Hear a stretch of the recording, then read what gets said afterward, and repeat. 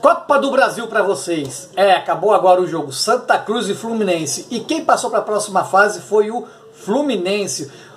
Apesar de Santa Cruz ter ganho o jogo por 2 a 0, gols de Jô e Pipico, e mas nos pênaltis deu o Fluminense. Ficou dois para o Santa Cruz e três para o Fluminense.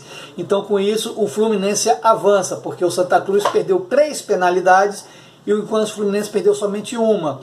O Fluminense nem precisou cobrar a última penalidade, a, a quinta da, da, primeira série, e matou em 3 a 2 Então, Fluminense falou: sai daí, Santiago, show, show, essa vaga não te pertence. E passou rumo à próxima fase da Copa do Brasil. Né? Fluminense perdeu um tempo normal, mas eliminou Santa Cruz. Em noite do herói, quem foi? Não, não foi nenhum atacante, não, foi o goleiro Rodolfo, né?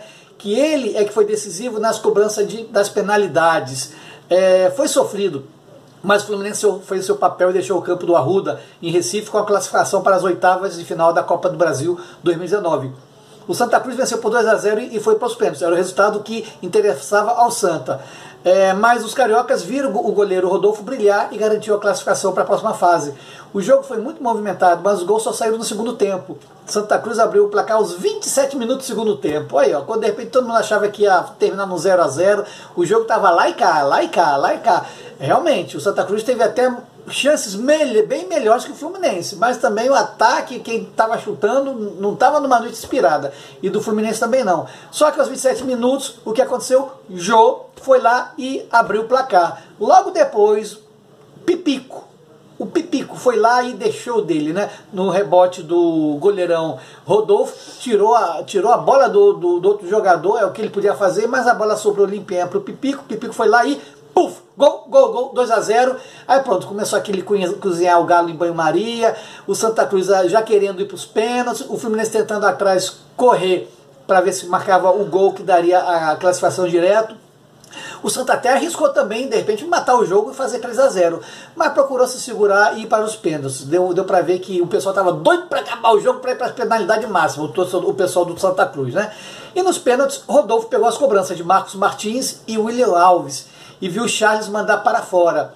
Vitória por 3 a 2 para o Fluminense. Pelo lado tricolor, Luciano, Pedro e Ayrton converteram e apenas Gilberto desperdiçou. Fluminense agora vai esperar o sorteio. A próxima fase, oitava de final, é um sorteio para saber quem será seu adversário. A CBF ainda não tem data certa para definir os confrontos. Né? Então, os melhores do jogo, na minha análise, foi Luciano e Charles. Luciano pelo lado do Fluminense, Charles pelo lado do, do Santa Cruz.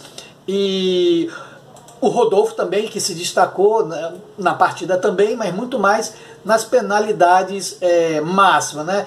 E o Santa Cruz fez o que todo mundo esperava. Se o Fluminense esperava que o Santa Cruz ia jogar numa retranca e contra-ataque, não foi, todo mundo sabia. A torcida encheu, quase que 30 mil pessoas, 27 mil pessoas lá no Arruda, lotando pressão. Todo mundo sabia que ia ser pressão, eles queriam esse resultado e correram atrás o Fluminense assegurou até 25, 26 do segundo tempo, mas aí não, não aguentou a pressão. E com isso o que aconteceu? Vai para as penalidades máximas, né? Tomou dois gols e foi. No primeiro jogo, se o Fluminense tivesse feito o dever de casa, ah, teria sido 4 a 0 5 a 0 6 a 0 fácil, fácil, mole, mole no primeiro jogo. Mas fez 2 a 0 aí vai para um arruda achando que ia se segurar ali, ah, posso perder de um gol de diferença. Aí deu no que deu, ficou no sufoco, no sufoco.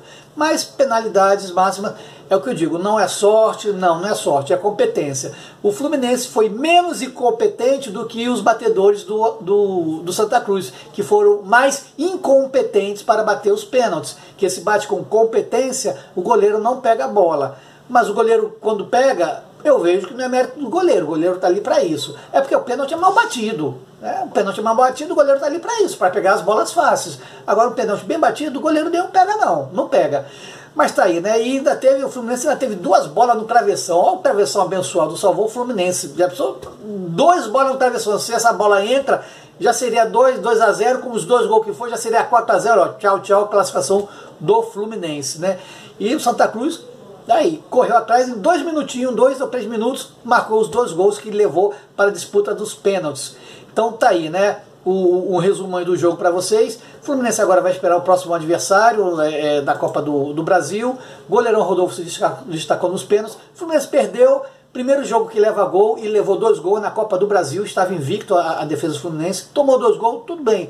Perdeu o jogo? Perdeu, mas avançou de fase. Isso que é mais importante. Então, parabéns à torcida tricolor que apoiou o time, parabéns aos jogadores. Tem que melhorar? Tem. Fernando Diniz, mexe no time quando tem que mexer. Você foi mexer no time depois está perdendo de 1 a 0 tem que mexer antes, já no intervalo, ver o que é que não está funcionando bem.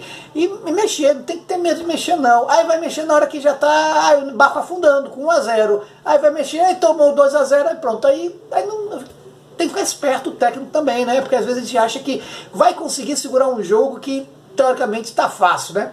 É tá aí. Passou de fase, né? No sufoco, o Fluminense foi, no sufoco. Mas tá aí. O que importa é que, ó, Show Santinha para lá, Fluminense próxima fase, carimbou passaporte para a Copa do Brasil, ok? Notícia parece que eu mando de volta para vocês. Valeu, galera!